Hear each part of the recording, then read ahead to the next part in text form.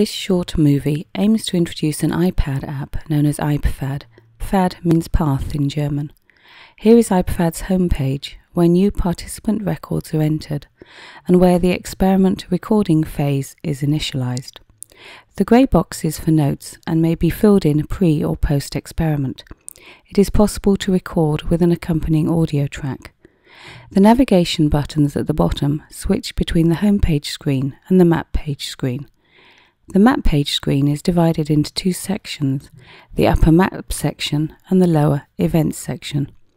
The buttons are classified as changes in floor level, as path events, such as pausing, the use of external aids, such as reading signs and other log action events, such as saving a compass direction in a pausing task.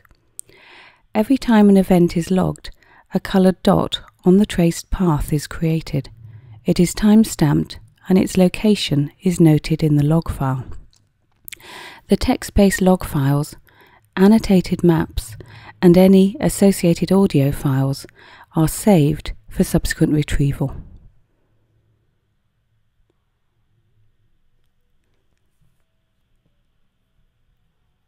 Here we can see an experimenter using the iPad app. The iPad is particularly well suited to this task as it is lightweight and can be held in one hand. The tracing of a participant's path is both intuitive and non-intrusive. As mentioned previously, the map section displays the current floor level if it's a multi-level building and is a drawable part of the screen, allowing the experimenter to trace the path of a subject onto the screen as they observe the participant's progress through an environment.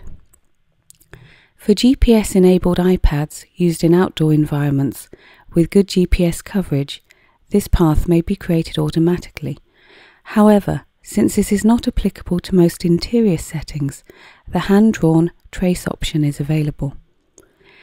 The types of path event tasks that are programmed into the app are starting a new task, pausing, backtracking, arriving at a false destination, and becoming lost or giving up the task. The use of external aids for which buttons are provided consist of the use of signage, of maps, external views to the outside, or equivalent invariant views and asking for help. Finally, there are buttons provided to save a compass direction with a pointing task, which uses the internal compass provided with the iPad, and to note the location of a significant remark if simultaneously recording an audio transcript.